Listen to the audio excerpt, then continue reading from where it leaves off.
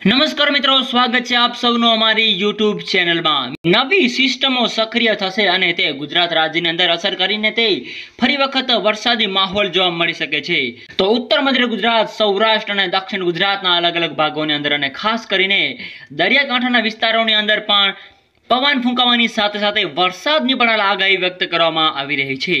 આ સાથે સાથે હાલની આપણે વાત કરીએ તો આગામી બેથી ત્રણ દિવસ સુધી રાજ્યના અલગ અલગ વિસ્તારોની અંદર અમુક અંશે ભારે વરસાદ તો અમુક અંશે હળવો વરસાદની પણ આગાહી વ્યક્ત કરવામાં આવી રહી છે.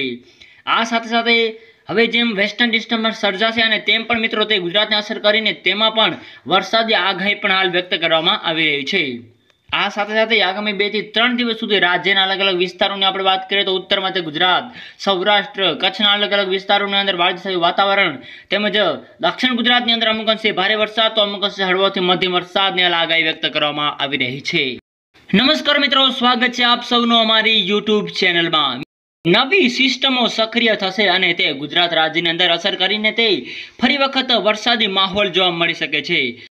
નમસ્કાર મિત્રો, સ્વાગત છે આપ સૌનું અમારી યુટ્યુબ ચેનલમાં. તો ઉત્તર મધ્ય ગુજરાત, સૌરાષ્ટ્ર અને દક્ષિણ ગુજરાતના અલગ અલગ ભાગોની અંદર અને ખાસ કરીને દરિયાકાંઠાના વિસ્તારોની અંદર પણ પવન ફૂંકાવાની સાથે સાથે વરસાદની પણ આગાહી વ્યક્ત કરવામાં આવી રહી છે. આ સાથે સાથે હાલની આપણે વાત કરીએ તો આગામી બેથી ત્રણ દિવસ સુધી રાજ્યના અલગ અલગ વિસ્તારોની અંદર અમુક અંશે ભારે વરસાદ, તો અમુક અંશે હળવો વરસાદની પણ આગાહી વ્યક્ત કરવામાં આવી રહી છે. આ સાથે સાથે હવે જેમ વેસ્ટર્ન ડિસ્ટર્બન્સ સર્જાશે અને તેમ પણ મિત્રો તે ગુજરાતને અસર કરીને તેમાં પણ વરસાદી આગાહી પણ હાલ વ્યક્ત કરવામાં આવી રહી છે.